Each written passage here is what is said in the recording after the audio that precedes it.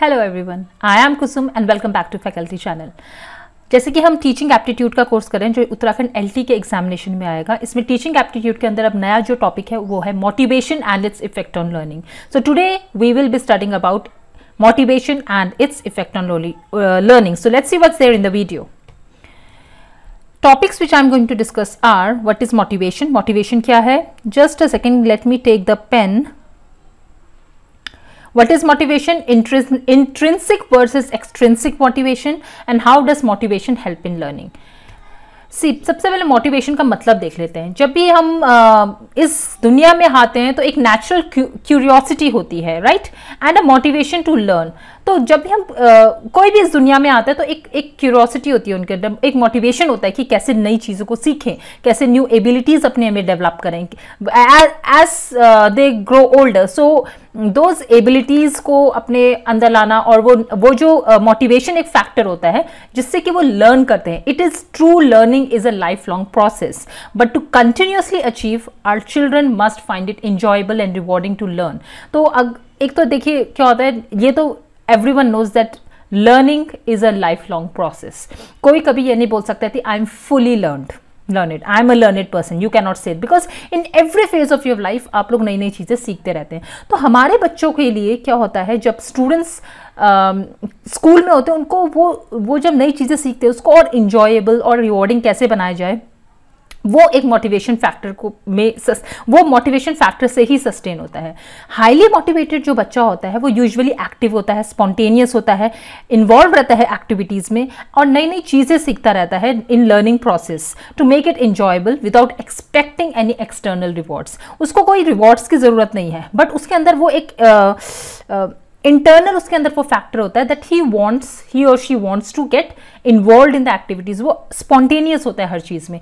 ये आपकी डेफिनेशन दी थी स्किनर एंड बेलमोंट ने in the year 1930 93 on the other hand जो बच्चे लो होते हैं मोटिवेशन लेवल जिनमें कम होता है, वो लर्न वो डिपेंड करते हैं दूसरों पे रिवॉर्ड्स पे डिपेंड करते हैं। हम बोलते हैं कि आप ये करोगे तो ये मिलेगा। तो उनके लिए रिवॉर्ड एक डिपेंडिंग फैक्टर होता है।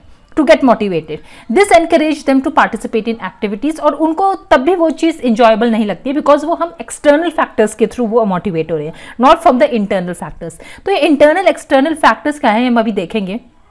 पहले ये देखिए कि स्लाइड है व्हाट इज़ मोटिवेशन मोटिवेशन है क्या? First thing it activates it activates you that is आप you gets it gets you going right right? एक स्टार्टिंग पॉइंट है। फिर it maintains you maintains means keeps you going आपको कोई चीज़ आपने start कर दी तो उसको उसको बरकरार कैसे रखना है? That is motivation and third it guides you that is determines way you are trying to go कहाँ आप जाना चाह रहे हो? ये आपके तो आपको क्या क्या करता है? मोटिवेशन एक्टिवेट करता है मेंटेन रखता है और गाइड करता है।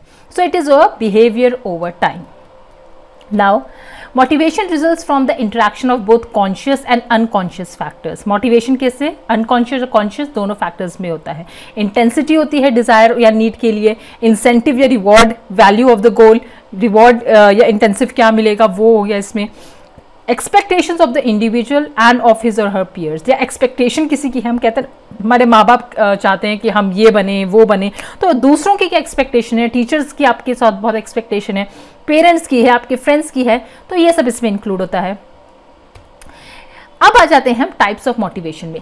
एजुकेशनल साइकोलॉजी के according there are two basic classification of motivation दो बेसिक क्लासिफिकेशन है क्या क्या है? एक है एस्ट्रेन एक्सट्रिंसिक या एक्सटर्नल मोटिवेशन और दूसरा है आपका इंट्रेंसिक या internal motivation now what are these two types of motivation we will study it in detail now extrinsic motivation होता है जिसमें कि परफॉर्म करता है कोई इंडिविजुअल या कोई बच्चा जो परफॉर्म करता है, वो कुछ सक्सीड या सेक ऑफ़ एकम्पलिशमेंट कुछ पाने के लिए उस चीज़ को, उसके अंदर होता है। मतलब उसको कोई रिवॉर्ड मिले, कोई, जैसे होते हैं ना, कई बच्चों को बोलना चाहिए, आप फ़र्स्ट आ सकते हो, आप फ़र्स्ट आओगे, अगर आप ऐसे करोगे, वो ये ऐसे पढ़ोगे तो वो होता है उसको कुछ आउटकम चाहिए उससे right he needs accomplishment external motivation जो होता है it comes from influences outside of the individual दूसरों से इन्फ्लुएंस होकर कोई मोटिवेट होता है।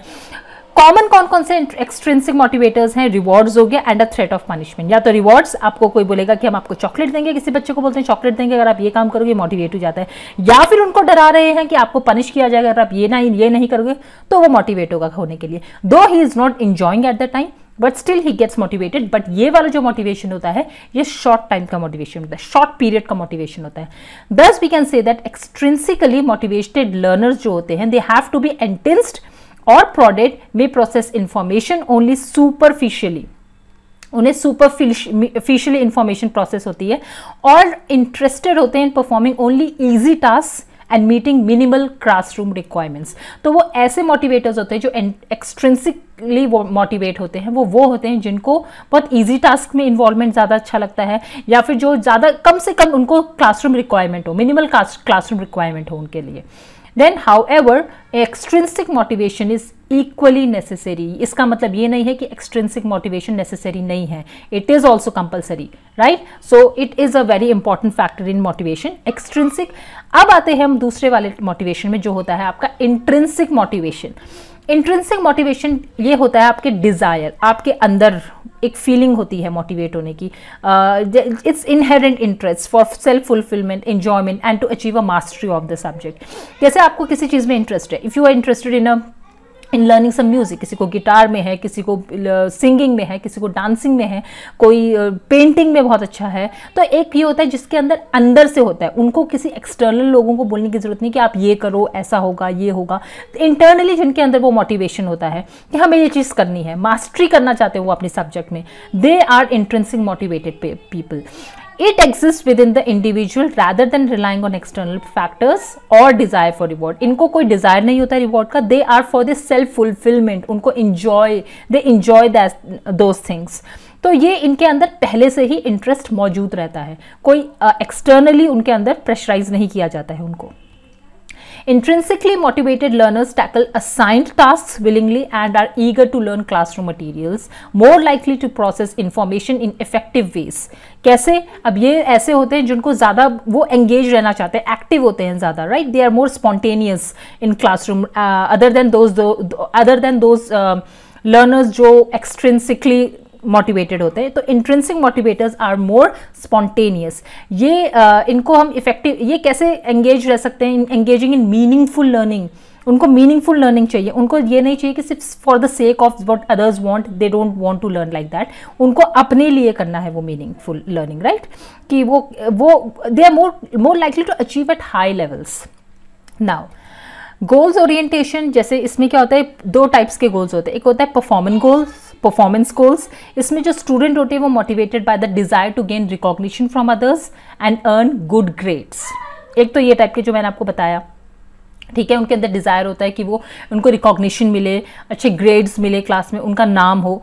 Performance goal is I want to get an A in this subject ये वो होते हैं जो चाहते हैं कि हमको ए चाहिए सब्जेक्ट में। कोई होता है ना, हमको हंड्रेड आउट ऑफ़ हंड्रेड चाहिए मैथ्स में तो चाहिए। ये हो गया आपका परफॉर्मेंस गोल दूसरा होता है आपका लर्निंग गोल अब स्टूडेंट यहाँ पर वो मोटिवेटेड होता है जो by desire of knowledge acquisition and self improvement जो इसके अंदर ये नहीं होता है कि उसको हंड्रेड आउट ऑफ़ हंड्रेड ही लाने, उसको ये होता है कि मुझको इस सब्जेक्ट में अच्छा होना है, मुझे हर एक एस्पेक्ट होना है अच्छा इम्प्रूव होना है मेरे अंदर का, इस प्रॉपर सब्जेक्ट का। तो यहाँ पर लर्निंग गोल क्या होता है उसका? I want to master this subject सिर्फ़ for the sake of not only not for the sake of कि हमको ये चीज़ आनी चाहिए, इसमें मेरे हंड्रेड आउट ऑफ़ हंड्रेड आए नाइन्टी एट है नाइन्टी नाइन आए no they want to master this subject और ज़रूरी नहीं है जिसके एट्टी आ रहे हैं या जिस जिसके एट्टी आ रहे हैं उसको कम आता है या जिसके हंड्रेड आ रहे हैं उसके, उसको ज़्यादा आता है राइट right? कई होते हैं जो रट्टू तोता होते हैं, कहते हैं ना जो ज़्यादा रटते हैं चीज़ों को तो उनके आ जाते हैं कई बार अच्छे। इट डजेंट मीन कि जिसके 80 या 90 आ रहे हैं वो कम है। No, maybe they are more master in their subject, but the thing is that performance goals and learning goals दोनों के अंदर अलग मोटिवेशन लेवल होता है। अब होता है हाउ मोटिवेशन इफेक्ट्स लर्निंग कैसे मोटिवेशन इफ़ेक्ट कर रहा है लर्निंग को? ना this is the main topic in this is the main thing in our topic right motivation directs behaviour towards particular goals motivation क्या करता है? पर्टिकुलर गोल्स होते हैं जो हमारे, उनकी तरफ़ हमारा बिहेवियर को डायरेक्ट करता है। Social cognitive theories propose that individuals set goals for themselves and direct their behaviour accordingly social cognitive theories बोलते हैं कि इंडिविजुअल क्या करता है? अपने लिए गोल सेट करता है और उसी के अकॉर्डिंग अपना बिहेवियर डायरेक्ट करता है। मोटिवेशन यह डिटरमाइन करता है स्पेसिफिक गोल्स को that are towards the learners strives जो लर्नर पाना चाहते हैं।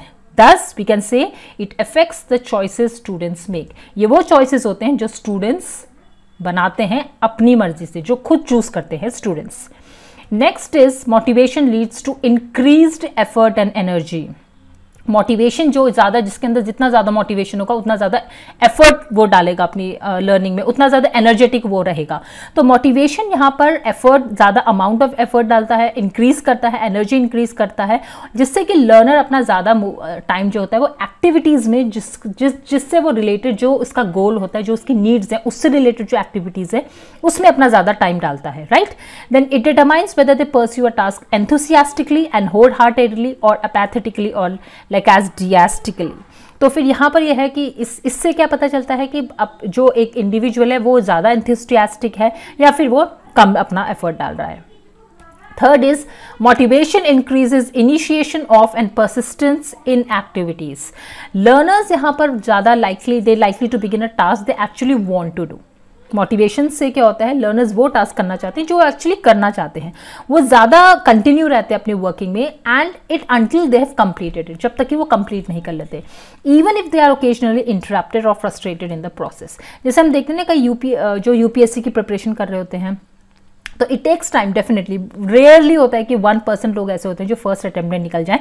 तो इट्स ऑल अबाउट पेशेंस अगर आपके अंदर वो मोटिवेशन लेवल है तो आप definitely you will take time आप अपना टाइम लोगे, आप अपने, आप धैर्य से करोगे सारा काम और अच्छी तरह से उसकी प्रिपरेशन करोगे। लेकिन जहाँ आपका जो आप एक्सट्रेंस एक्सट्रेंसिकली मोटिवेटेड अगर आप हो, इस सेक के लिए कि वो बन गया तो मैं भी बन सकता हूँ। ये चीज़ नहीं होनी चाहिए। अपने अंदर पहले से है कि मैं ये बनना चाहता हूँ, मेरे अंदर है। तो फिर तब आप वो, उसके लिए हमेशा आप एनर्जेटिक रहेंगे। एक मोटिवेशन लेवल आपका हमेशा हाई रहेगा। तो कई होते हैं जो छोड़ देते हैं बीच में राइट तो लेकिन ये वो मोटिवेशन लेवल हमेशा आपको कंटिन्यू करता है। आपके वर्किंग को कंटिन्यू रखता है जब तक कि आप अपना गोल अचीव नहीं कर कर लेते। इन जनरल हम कह सकते हैं motivation increases students time on task and important factor affecting the learning and achievement then is motivation affects cognitive processes ये कॉग्निटिव प्रोसेसेस को भी अफेक्ट करता है। यहाँ पर क्या होता है जो लर्नर uh, होता है जो हाईली मोटिवेटेड रहता है वो ज़्यादा अटेंशन पे करता है।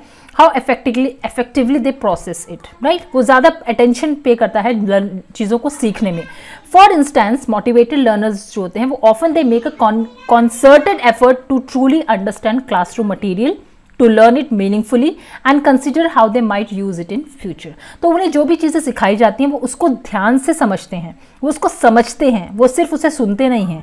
But they they just don't listen from the ears they just don't hear they listen the things. Listen means meaningful. They they read into the lines. They learn what they are uh, think what they are been uh, जो उनको याद करवाया जाता है they they try to find the meaning in that तो इससे क्या होता है, उनका फ्यूचर एक सिक्योर हो जाता है, जो कि उनको पता है ये चीज़ हमारे फ्यूचर में काम आएँगी।